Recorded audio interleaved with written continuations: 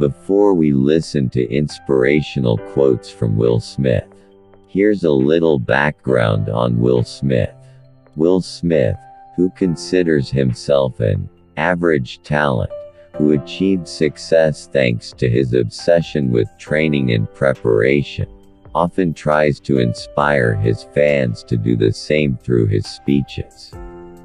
His words sometimes carry a spiritual undertone, given that he was raised a Baptist, even though he claims to be non-religious.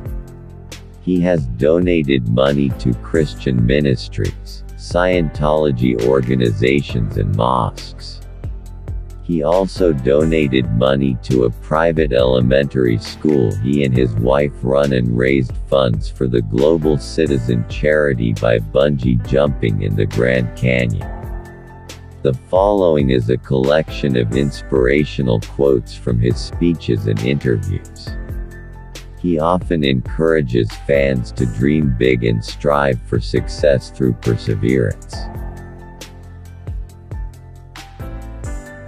As a child, I watched Dallas, and that was my vision for my life for as long as I could remember. When I was growing up, I installed refrigerators in supermarkets. My father was an electrical engineer. Goofy was the word that was used most often by my sisters because I've been this tall ever since I was 12 years old. It's quite highly possible that I have peaked. I mean, I just can't imagine what else I could do beyond this. It's really a bittersweet kind of feeling. I love producing. I am loving doing that. I think that is my most natural space in the business. I just love producing or editing and that's where I thrive. The first time that I performed as an actor was the first day on the set of The Fresh Prince of Bel Air.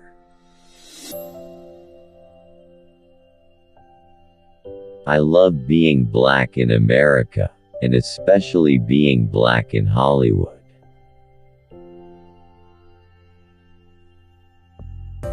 I try to speak my points of view about black America, and how I feel about black men and the role that black men should play in their lives with their children and in their lives with their women. If it was something that I really committed myself to, I don't think there's anything that could stop me becoming President of the United States.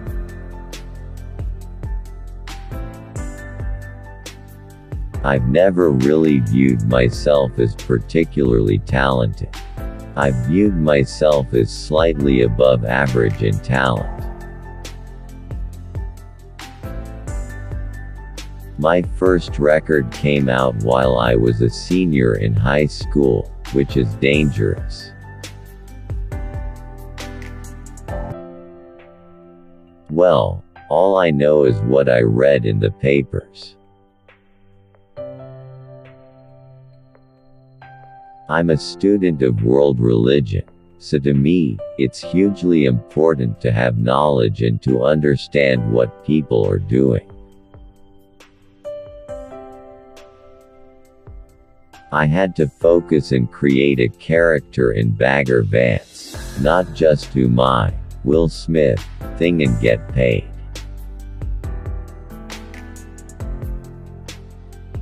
I don't necessarily believe in organized religion. I mean, I'm very serious with my kids about them comprehending the intricacies of global finance. I had a hit single on the radio for 30 days before I graduated from high school. A rapper is about being completely true to yourself. Being an actor is about changing who you are. My skin is hard when it comes to my music. But with my movies, I'm still a virgin in a lot of ways. I'm not used to being shot down for no reason.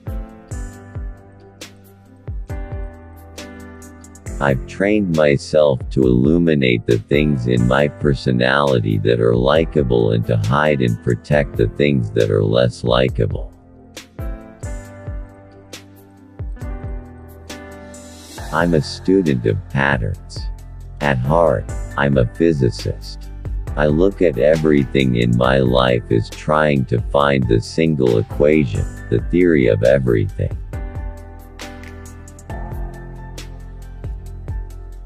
I want the world to be better because I was here.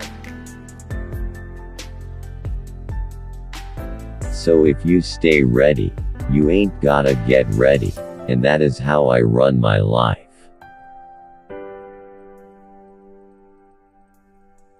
My school was 90% white, but 90% of the kids I played with were black. So I got the best of both worlds. I think that is where my comedy developed.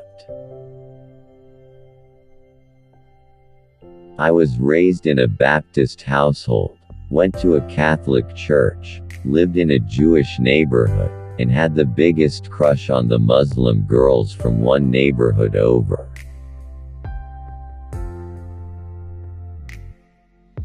There's so much negative imagery of black fatherhood. I've got tons of friends that are doing the right thing by their kids, and doing the right thing as a father, and how come that's not as newsworthy?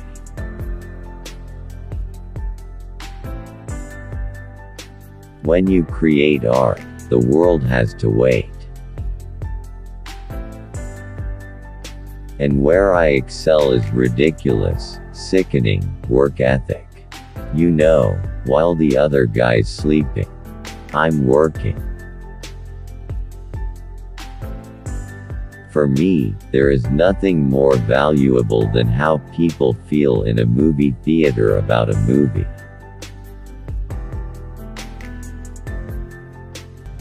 I viewed myself as slightly above average in talent. And where I excel is ridiculous, sickening work ethic. Life is lived on the edge. Traditional education is based on facts and figures and passing tests, not on a comprehension of the material and its application to your life. I don't know what my calling is, but I want to be here for a bigger reason. I strive to be like the greatest people who have ever lived. If you're not willing to work hard, let someone else do it. I'd rather be with someone who does a horrible job, but gives 110% than with someone who does a good job and gives 60%.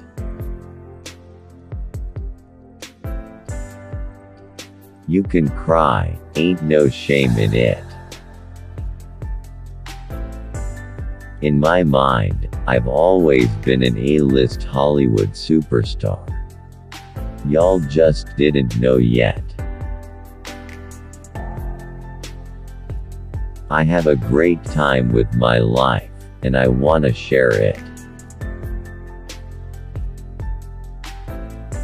Whatever your dream is, Every extra penny you have needs to be going to that. We all want to be in love and find that person who is going to love us no matter how our feet smell, no matter how angry we get one day, no matter the things we say that we don't mean. I've always considered myself to be just average talent and what I have is a ridiculous insane obsessiveness for practice and preparation.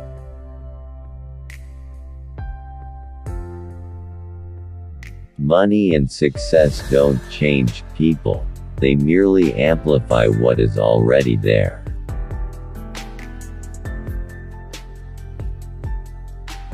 The things that have been most valuable to me I did not learn in school.